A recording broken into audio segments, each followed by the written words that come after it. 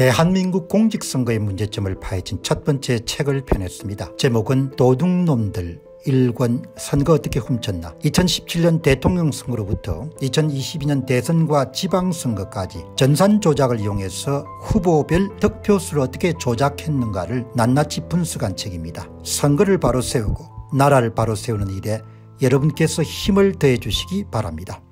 안녕하십니까 공평호입니다. 현대 문명은 여러분 과학의 이런 바탕을 두고 있지 않습니까?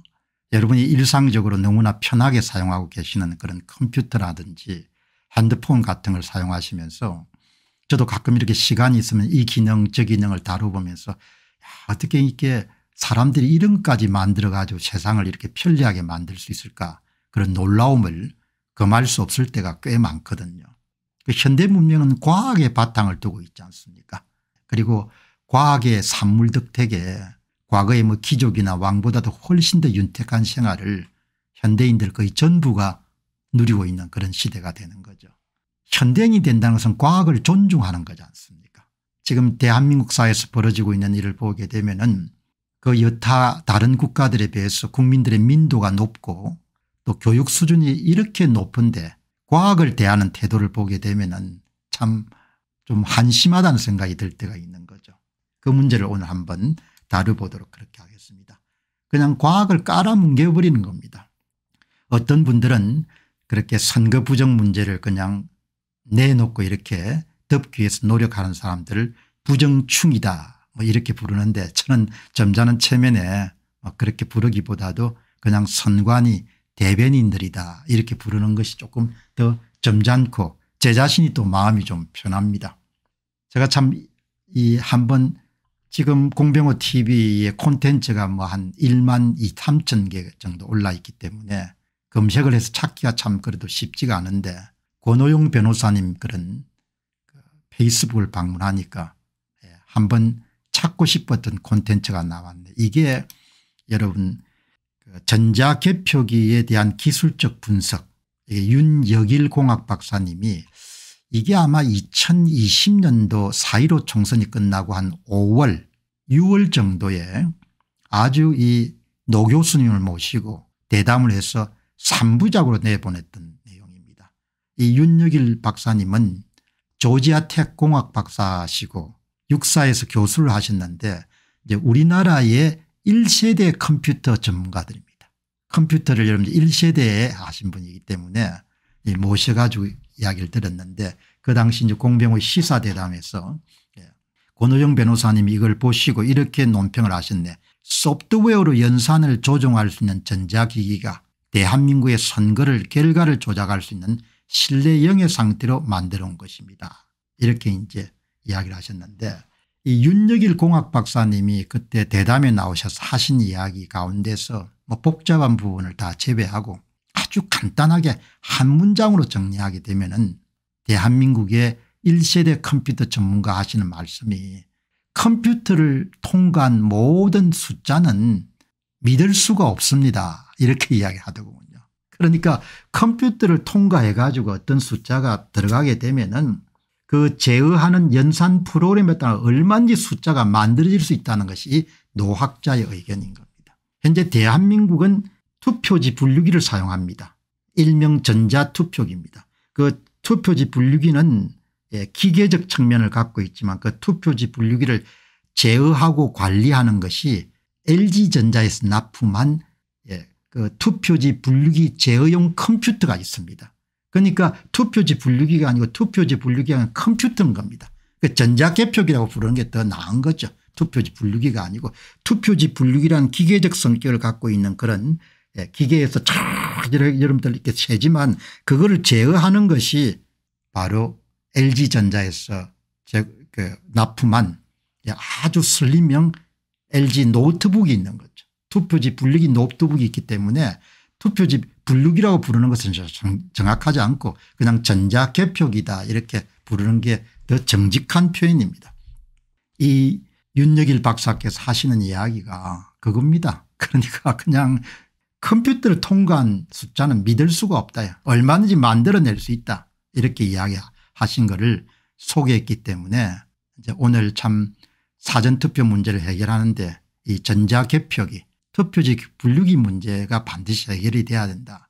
그 다음 또 여러분들 권호영 변호사님이 또 올린 것이 수학은 백경분의 1초 단위의 연산으로 원자 분자 전자의 세계를 관측할 수 있는 기술 개발의 기초입니다. 이번에 2023년도 노벨 물리학상은 백경분의 1초의 빛으로 전자세계를 관측하는 데 기여한 학자 세 분이 받으셨네요. 권호영 변호사님 말씀입니다. 대한민국 대법원은 6억 8천만 불의 일의 확률인 2020년도 인천년 10월 국회의원 선거 결과 수경분의 1의 확률력만 가능한 2020년도 제21대 총선 결과를 그에 대한 수학적 통계학적 분석 결과를 무시하였고 일견하여 분별되는 위조투표제로 교체한 선거 무효소송의 증거를 무시하고 기각하였습니다. 이렇게 이야기했는데 여러분들 그 허병기 교수님 프랑스에서 이제 젊은 날 학위를 하셨는데 허병기 교수님이 이제 여러분 왜 저왜 더 카르텔이라는 두 번째 선거 부정 관련 다큐멘터리를 보셨은 분들은 아시겠지만 허병기 교수님이 연세가 드셨지만 굉장히 이렇게 맑게 생기신 분입니다. 아주 전형적인 공학도 스타일로 생기신 분인데 이제 허병기 교수님이 가장 크게 기여하신 분이 뭔가 하니까 수학적으로 2020년도 4.15 총선의 득표수 조작을 증명해낸 겁니다. 예, 수학적으로. 그러니까 이론적으로 조작 그 증명해내신 분이고 그다음 제가 즐겨 인용하는 제야 전문가께서는 선거관리위원회가 여러분들 발표한 후보별 득표수는 공식 자료를 여러분 분석해 가지고 그 자료 안에 내장된 득표수 조작 공장 일명 득표수를 조작하는 데 활용한 조작값과 규칙을 찾아내는 데 기여하신 분입니다. 모든 분들이 다 이 여러분들 이 접근 방법이 다른 겁니다. 그 다음 재검표장에서는 재검표에 등장한 모든 투표제들이 사전 투표 당일 투표제를 재뭐 막론하고 모두가 다, 다 새로 갈아치운 위조 투표지로 투표함을 채운 다음에 제출한 것은 이제 그 재검표장에 참여했던 변호사들 뿐만 아니고 수백 명의 대법원에 속한 부장판사와 대법원 직원들이 다 그 현장을 목도한 겁니다. 다만 이제 먹고 사는 문제 때문에 입을 다물고 있을 뿐이죠. 이 내용의 핵심이라는 것은 최초로 재검표가 이루어졌고 가장 국민들의 관심을 모았던 그 조재현과 천대엽과 이동원이 내렸던 그 엉터리 판결문에 적혀 있는 그 그들의 근거는 허병기 교수님의 수학적 증명에 따르게 되면 은 바로 인천광역시 연수의 선거 결과가 등장할 수 있는 그 확률이 확률이 6억 8천만 분의 1의 확률이라는 겁니다. 그러면 인천광역시 연수울뿐만 아니고 전국의 여러분들 그렇게 희한한 사전투표만 하면 은 더불당이 항상 승리를 하고 사전투표 득표율과 당일투표 득표율 사이에 오차값이 그렇게 큰 그런 어마어마하고 핵이 망측한 결과가 나올 확률은 2020년도 4.15 총선과 같은 그런 결과가 나올 확률이 예, 백경분의 1이라는 거 아닙니까 그거를 백경분의 1인 겁니다. 그런 어마어마한 여러분들 그런 수학적 변칙과 통계적 변칙을 다 깔아뭉개고 그 과학을 깔아뭉개고 그냥 조재현과 천대엽과 이동원이 대법관들이 갖고 있는 법 해석 권한을 이용해 가지고 그냥 예, 원고 측이 소송 기각을 한 거죠. 그리고 여러분들 그다음에 이런 것은 수학적 증명 그다음에 제가 자주 즐겨 보여드린 것은 그 자료적 자료의 특성 그런데 이 보시게 되면 부정선거 장비 물품은 특별한 것들이 아니었고 특별한 흉악범들이 저지른 것이 아니었습니다. 대한민국에서 교육받은 나름 공직자들이라는 사람들이 부정선거를 저지르고 이것을 덮는 역할을 수행한 것을 보았습니다. 이런 것을 다 여러분들 대법원에 속해서 밥을 먹고 사는 부장판사 외에 수백 명의 대법원 직원들이 다 재검표장에서 작업을 하면서 이걸 다 본 겁니다. 예, 이 어마무, 어마한 이런 증거물들을 신근다발 같은 이 사전투표지들을 이걸 다 이제 목격을 한 겁니다. 자 이렇게 모든 것이 다 밝혀진 겁니다. 밝혀졌고 그러나 국가라는 것은 많은 사람들로 이제 구성되기 때문에 이것을 밝혀낼 수 있는가라는 문제는 이제 저의 손을 이제 떠난 거죠. 근데 이제 오늘 민경욱 국토본 상임대표의 페이스북을 들어가 보니까 그동안 어떻게 지내시나 궁금했던 때 전규재 씨가 한 말씀을 하셨네요. 예, 이게 이제 아마 전규재 씨가 온 국민이 봐야 될 충격 다큐멘터리에 대해서 댓글을 남겼네요. 민경욱이 다 까봤습니다. 그리고 가짜표는 한 장도 없었습니다. 그냥 가만히 있으면 다행일 건데 이 민경욱 대표 주장입니다. 정규재 선생님 제가 재검 표장에서 까는데요 다 가짜표입니다. 정규재 선생님 직접 보지도 않고 어떻게 그렇게 자신 있게 말씀을 하십니까 기자가 아니신 모양입니다. 저는 현장을 중시하는 방송기자 출신입니다. 이렇게 이야기를 했네요. 민경욱이 다 까봤습니다. 그리고 가짜표는 한 장도 없었습니다. 민경욱이 다 까보니까 예, 거기에 박주현이도 있었고 예, 거기에 여러분들 권오영도 있었고 거기에 윤용진도 있었는데 다 여러분들 모든 투표지가 다 재검표장에 다 등장한 것이 다 예, 가짜표지 않습니까 사람은 참 요즘 보면 은 완악하다는 이야기를 참 사용하기가 쉽네요. 현명하고 지혜로운 사람 같으면 은 자신이 실수나 실책을 하게 되면 은 어느 시점에서 여러분 그걸 인정하고 예, 사람은 또다 실수나 실책을 할 수 있으니까 끝까지 아마 정규재 씨는 갈 모양입니다. 민경욱이 다 까봤습니다. 가짜표는 한 장도 없었습니다. 그게 아니지 않습니까 민경욱이 다 까봤는데 모두가 다 가짜표인 거지 않습니까 그럼 가짜표를 다 왜 집어넣겠습니까 표가 안 맞으니까 그래 득표수를 조작했던 거죠. 그거를 이렇게 뭐 끝까지 뭐죠. 정규재 씨가 참 이렇게 덮으려고 하는 것은 옳지 않죠. 본인이 철학가 출신이니까 철학가답게 마지막까지 그렇게 주장을 펼치네요. 어떻게 이렇게 과학을 이렇게 깔아뭉개는 사회가 됐는지 다른 것보다는 참 기준이나 잣대가 선악의 기준 정의와 부정의 기준 공직자의 기준 분류법과 합법의 기준 이런 것이 너무나 많이 참 무너졌기 때문에 뭐 이것을 인해 가지고 대한민국 사회라는 것이 앞으로 이제 치르게 될 비용들이 이제 본격화되면은 뭐 그때서야 아 그 양반들이 그렇게 외치고 그렇게 목소리를 높이던 것이 그게 다 이유가 있었구나 이렇게 생각하지 않겠냐 그런 그 부분을 한 번 정도 더 새기게 됩니다.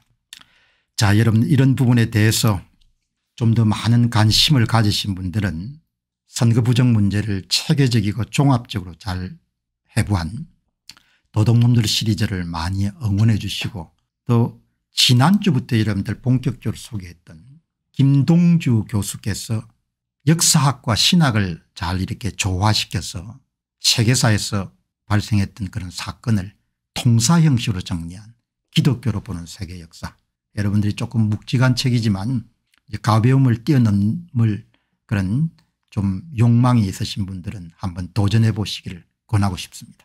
감사합니다. 여러분들께 정말 훌륭한 책을 한 권 소개해 드리도록 하겠습니다. 김동주 박사님 역사학과 신학에 대한 상당한 조회를 가지신 분이 26년 동안의 그런 연구를 총집결한 책이 바로 기독교로 보는 세계 역사란 책입니다. 제 자신이 작가로서 한 100여 권 정도의 책을 썼지만 정말 대작이다라는 생각이 듭니다. 이 책은 천쪽 분량의 굉장히 긴 책이지만 중간중간에 세계사의 중요한 사건과 관련한 또 중요한 인물과 관련된 예화라든지 그런 흥미로운 이야기를 함께 싣고 있기 때문에 전혀 지루하지 않게 경쾌한 스텝을 밟는 것처럼 그렇게 읽어 나갈 수 있는 그런 책입니다.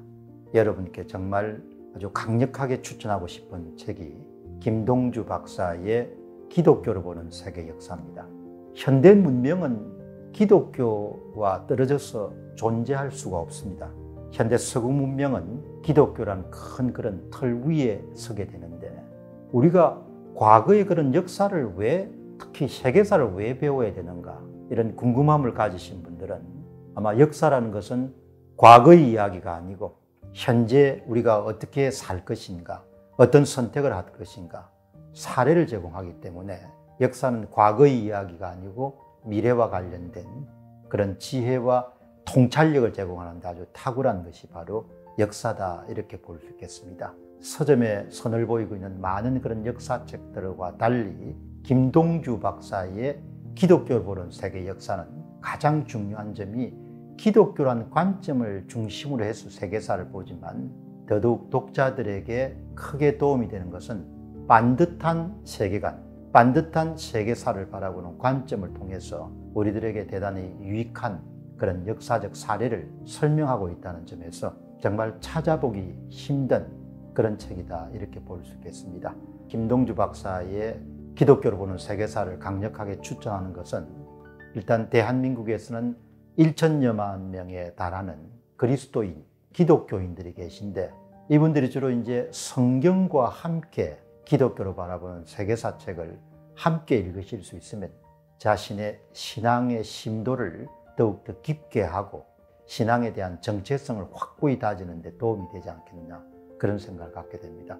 생각하는 힘을 키우는 것이 참 중요한데 영상의 시대가 대세가 되면서 점점 사람들이 생각하는 힘을 잃어가고 있기 때문에 그런 시대 환경 속에서 여러분들에게 강력하게 추천하고 싶은 그런 책이 바로 김 박사가 쓴 기독교로 보는 세계사입니다.